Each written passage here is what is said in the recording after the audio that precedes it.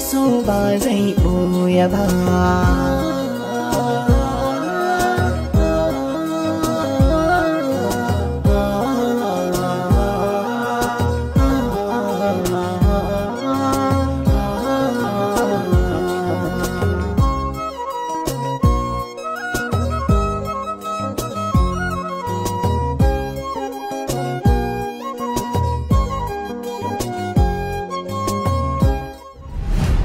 Za mu ƙirƙiro wannan yaron kuma mu kawo shi gidan nan a matsayin shi ne ɗan gidan matawallan da ya ɓata.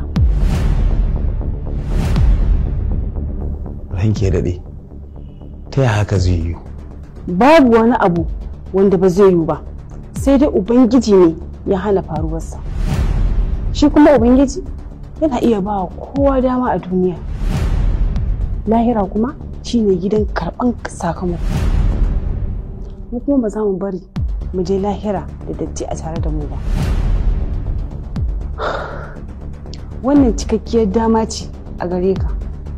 Zan baka gida kuma zan baka jari. Kuma duk abin da za mu samu daga dukiyar matawalle